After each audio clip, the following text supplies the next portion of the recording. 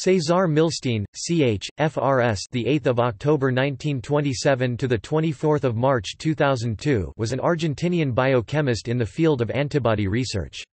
Milstein shared the Nobel Prize in Physiology or Medicine in 1984 with Niels Kaj Jerne and Georges J. F. Köhler.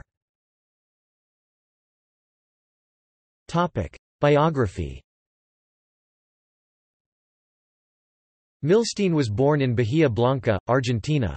His parents were Maxima and Lazaro Milstein, a Jewish Ukrainian immigrant. He graduated from the University of Buenos Aires and obtained a PhD under Professor Stoppani professor of biochemistry. Thereafter he was a member of the Medical Research Council Laboratory of Molecular Biology, Cambridge, England, and held dual Argentine and British citizenship. In 1956 he received an award from the Sociedad Bioquímica Argentina for his work on kinetic studies with the enzyme aldehyde dehydrogenase. In 1958, funded by the British Council, he joined the biochemistry department at the University of Cambridge at Darwin College to work for a PhD under Malcolm Dixon on the mechanism of metal activation of the enzyme phosphoglucomutase. During this work he collaborated with Frederick Sanger whose group he joined with a short-term Medical Research Council appointment. Career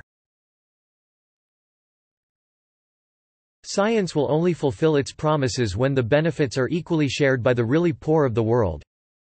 The major part of Milstein's research career was devoted to studying the structure of antibodies and the mechanism by which antibody diversity is generated. It was as part of this quest that in 1975 he, together with Georges Köhler a postdoctoral fellow in his laboratory, developed the hybridoma technique for the production of monoclonal antibodies—a discovery recognized by the award of the 1984 Nobel Prize for Physiology or Medicine.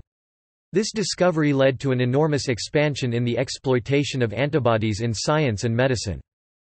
Milstein himself made many major contributions to improvements and developments in monoclonal antibody technology, especially focusing on the use of monoclonal antibodies to provide markers that allow distinction between different cell types.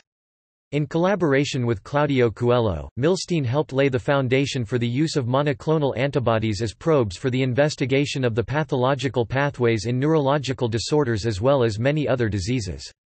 Milstein and Cuello's work also enabled the use of monoclonal antibodies to enhance the power of immuno-based diagnostic tests.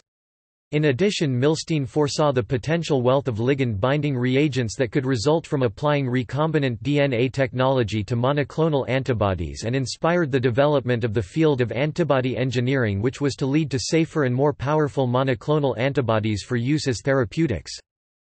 Milstein's early work on antibodies focused on the nature of their diversity at the amino acid level as well as on the disulfide bonds by which they were held together. Part of this work was done in collaboration with his wife, Celia.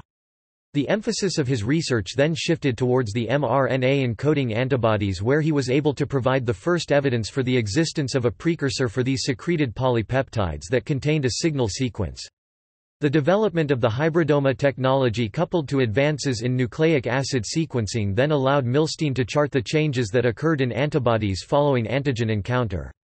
He demonstrated the importance of somatic hypermutation of immunoglobulin V genes in antibody affinity maturation. In this process, localized mutation of the immunoglobulin genes allows the production of improved antibodies which make a major contribution to protective immunity and immunological memory. Much of his work in recent years was devoted to characterizing this mutational process with a view to understanding its mechanism and, indeed, he contributed a manuscript for publication on this topic less than a week before he died. Quite apart from his own achievements, Milstein acted as a guide and inspiration to many in the antibody field as well as devoting himself to assisting science and scientists in less developed countries. It is also worth mentioning, that even though the Nobel Prize would have made him a wealthy man, Milstein did not patent his enormous discovery since he believed that it was mankind's intellectual property. According to his beliefs, his work did not have any economic interest, only scientific.